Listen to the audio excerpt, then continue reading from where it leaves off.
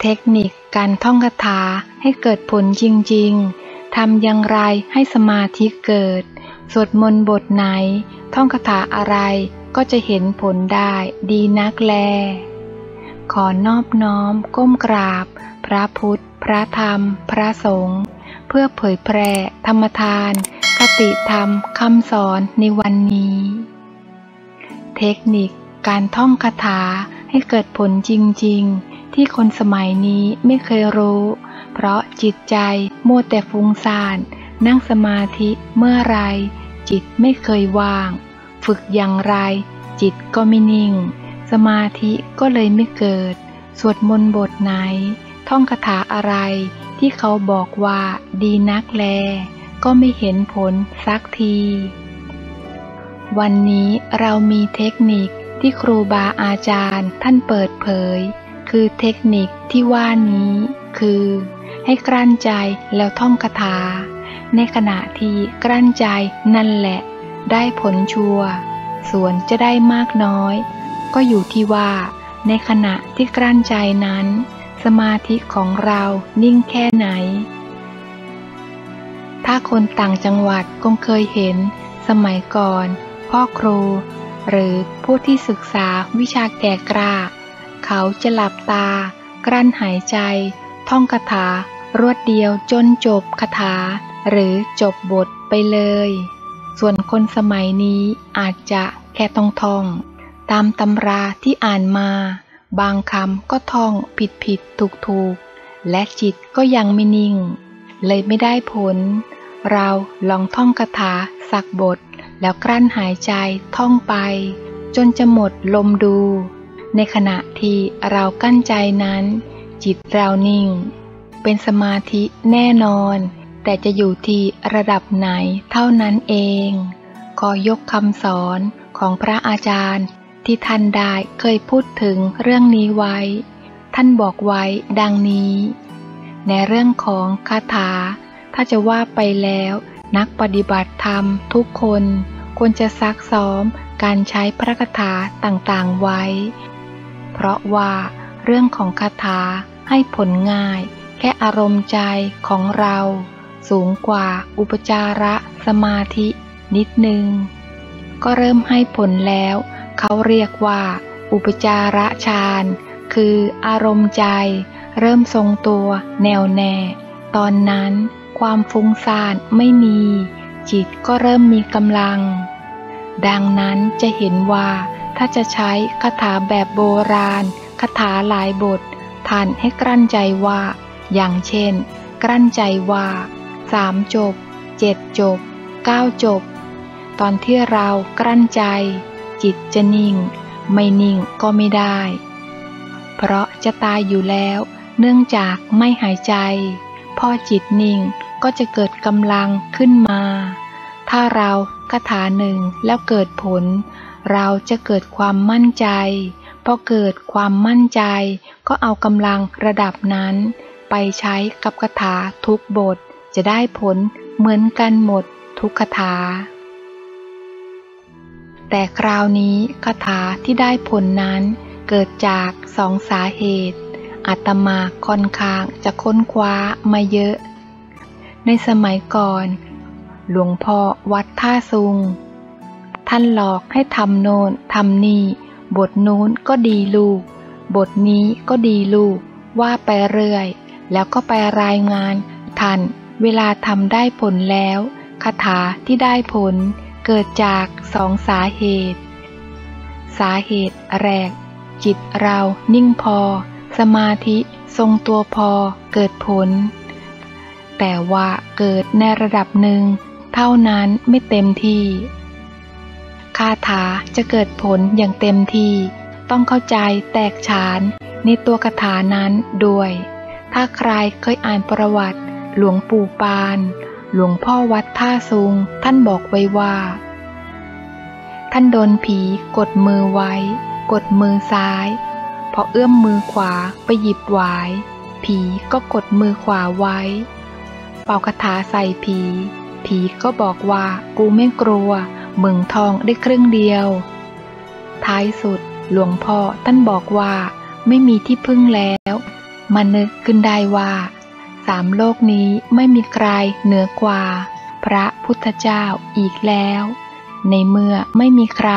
เหนือกว่า พระพุทธเจ้าอีกแล้ว ผีก็ไม่มีทางเหนือกว่าพระพุทธเจ้าได้ เพราะฉะนั้น เราขอพระพุทธเจ้าเป็นที่พึ่ง แล้วท่านก็ว่า พุทโธ พุทโธ พุทโธ เป่าทีเดียว ผีหกขเมนไปเลย นั่นคือ การเข้าถึงเข้าใจในตัวคาถาจริง ๆทำให้กำลังสมาธิทั้งหมดเกิดขึ้น จากความเชื่อมัน่นและความเคารพอย่างแท้จริง ถ้าใครสามารถทำ ถึงตรงจุดนี้ได้คาถาทุกบท นอกจากจะได้ผลแล้ว ยังได้ผลอย่างมหาศาลอีกด้วย ขั้นตอนการฝึกปฏิบัติให้ฝึกดังนี้ วิธีสวดคาถา วิธีสวดมนต์ ให้ได้ผลดี มีดังต่อไปนี้ 1. กลั้นใจแล้วสวดคาถาในใจ รวดเดียวให้จบ จะเอากี่จบก็ได้ ในช่วงหนึ่งลมหายใจ เพราะการกลั้นลมหายใจเป็นการบังคับให้จิตเป็นสมาธิได้ดีมาก เพราะตอนนั้นมันกำลังจะตายแล้ว จิตเลยต้องดิ้นรนทำให้จิตรวมตัวได้เร็วขึ้น ตัวจิตที่เป็นสมาธิ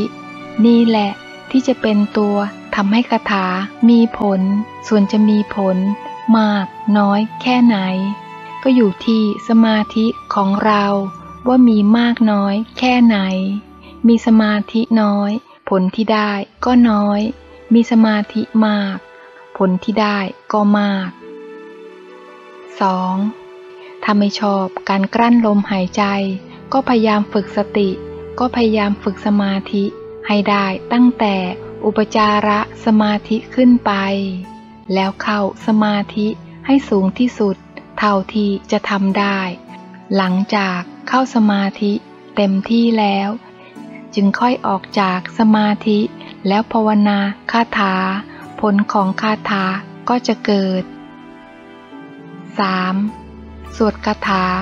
ให้ต่อเนื่องกันไปเรื่อยๆ ให้ได้นานที่สุด จะกี่จบก็ได้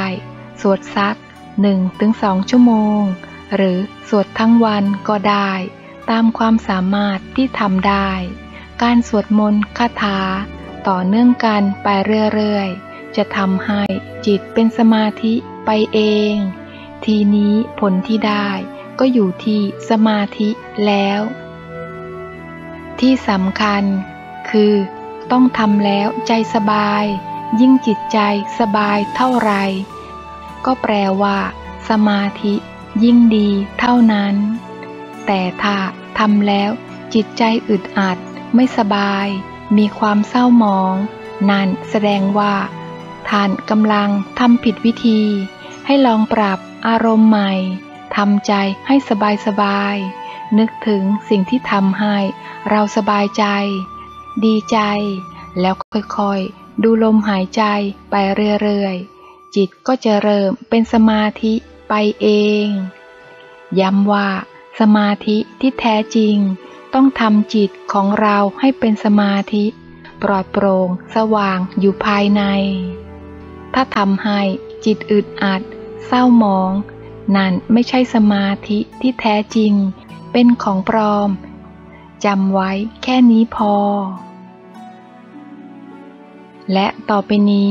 ก็คือเป็นบุญ เป็นอานิสงส์ของการสวดมนต์อานิสงส์ของการสวดมนต์มีดังต่อไปนี้หนึ่งสวดมนต์เพื่อถวายเป็นพุทธบูชา เป็นบุญที่ได้กล่าวคำศักดิ์สิทธิ์ ที่พระพุทธเจ้าบัญญัติไว้ บทสวดพุทธมนต์นั้น มาจากพระโอษฐ์ของพระพุทธเจ้า ที่ได้ทรงสอนสั่งสาวก และมีการจำ และทองสืบกันมา จนถึงมีการจดบันทึกไว้ในพระไตรปิฎก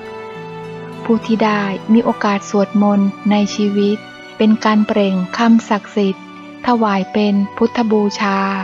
เป็นการบูชา พระพุทธเจ้า และย่อมได้บุญกุศล 2. เกิดผลดีต่อร่างกาย คนที่สวดมนต์เป็นประจำนั้น ทางการแพทย์สมัยใหม่ รับรองแล้วว่า การสวดมนต์ทำให้เกิดความสุขได้จริง ในจิตใจ ส่งผลต่อร่างกาย ให้หลั่งสารความสุขออกมา ร่างกายก็จะแข็งแรง ใบหน้าสดใส ครูบาอาจารย์ในสมัยโบราณถึงปัจจุบัน ทราบถึงเคล็ดลับสำคัญ ให้สังเกตว่า ท่านจะมีอายุยืนมาก และบรรพบุรุษของเรานั้น ท่านสวดมนต์เป็นประจำ อายุท่านจึงยืนยาว ไม่เหมือนคนในปัจจุบัน ที่ห่างเหินการสวดมนต์มาก อายุจึงสั้น 3. เป็นการบำเพ็ญภาวนาอย่างหนึ่งทำให้สมาธิจิตใจ แจ่มใส การสวดมนต์เป็นการสร้างสมาธิวิธีการหนึ่ง เมื่อจิตที่มีสมาธิย่อมแจ่มใส มีกำลัง คิดอ่าน แก้ไขปัญหาอะไร ก็จะทำได้ง่าย เพราะมีสติกำกับอยู่ 4. เป็นที่โปรดปรานของเหล่าเทพ เทวดา และดวงจิตวิญญาณทั้งปวง แม้ผู้ใดไม่ว่าจะเป็น พรหมเทพ เทวดาสรรพสัตว์ทั้งหลาย ดวงจิตวิญญาณทั้งหลาย เมื่อได้ยิน บทสวดนั้น จะพบกับความเย็นสบาย คลายทุกข์ จึงทำให้นิยมชมชอบคนที่สวดด้วย และเมื่อได้ยิน ก็จะช่วยปกป้องรักษาคนที่สวดมนต์นั้น 5. เกิดบุญจากการแผ่เมตตา เมื่อสวดมนต์เสร็จสิ้น มีการแผ่เมตตา แก่ตนเอง และเหล่าสรรพสัตว์ย่อมเกิดอนิสงส์บุญเกิดขึ้น 6. คนที่สวดมนต์เป็นประจำ ย่อมได้รับการอวยพรจากสิ่งศักดิ์สิทธิ์เสมอ เพราะเป็นผู้สร้างกรรมดี จากการสวดมนต์และแผ่เมตตา 7. สร้างสิริมงคลต่อตนเองและครอบครัว ปัดเป่า ภัยพิบัติ โรคร้ายได้จริง ทุกบทสวดมนต์นั้น มาจากอักขระที่ศักดิ์สิทธิ์ มีอำนาจดลบันดาล ให้สิ่งอัปมงคลนั้นออกไปจากชีวิต และสร้างสิริมงคลให้กับคนที่สวด ยิ่งสวดมากก็จะมีสิริมงคลมากขึ้นทำอะไรก็สำเร็จได้โดยง่าย 8. สามารถแผ่บุญไป ช่วยผู้อื่นที่เดือดร้อนได้ บทสวดมนต์ทุกบทนั้นสามารถแผ่บุญกุศลไปช่วยผู้อื่นที่เดือดร้อนได้ทุกเรื่อง ยิ่งเป็นสายเลือดเดียวกัน จะยิ่งเร็วขึ้น เพราะมีทั้งบุญและกรรมผูกพันกันมา อานิสงส์ดังที่กล่าวมาข้างต้น คงจะพอทำให้ทุกท่านเข้าใจ เรื่องอานิสงส์ หรือประโยชน์ที่จะได้รับจากการสวดมนต์ไหว้พระนั่งสมาธิ ตลอดจนการแผ่เมตตา เป็นอย่างดี แล้วอย่างไรก็ดี นี่เป็นเพียงประโยชน์เบื้องต้นเท่านั้น ความจริงแล้วมีอานิสงส์ที่จะได้รับทางอ้อม ทางลึกอีกมากมายกว่านี้นัก แต่เป็นปัจจตัง หรือ รู้ได้เฉพาะตัวของแต่ละคนไป โปรดจำไว้เสมอว่า ธรรมะของพระพุทธเจ้านั้นต้องปฏิบัติเองถึงจะได้ 9. อานิสงส์ของการสวดมนต์เป็นพื้นฐานก่อนนำไปสู่การปฏิบัติวิปัสสนากรรมฐานชั้นสูงต่อไป ท้ายนี้ขอบคุณแหล่งที่มาข้อมูล คติธรรมคำสอนดีๆ ในวันนี้ และขออนุโมทนาบุญกับทุกท่านที่เข้ามารับฟัง ได้บุญร่วมกันนะคะ ให้ทุกท่านประสบความสำเร็จกับทุกเรื่องของชีวิตนะคะ สาธุ ส่งต่อแชร์ให้กับเพื่อนๆ คนที่รักและห่วงใยด้วยนะคะ เพราะความสุขที่ยิ่งใหญ่คือการให้ ขอให้ทุกท่านสุขภาพดี แข็งแรง ขอให้ทุกท่านร่ำรวยเงินทอง เจริญก้าวหน้ายิ่งยิ่งขึ้น สุขกายสุขใจตลอดไปค่ะ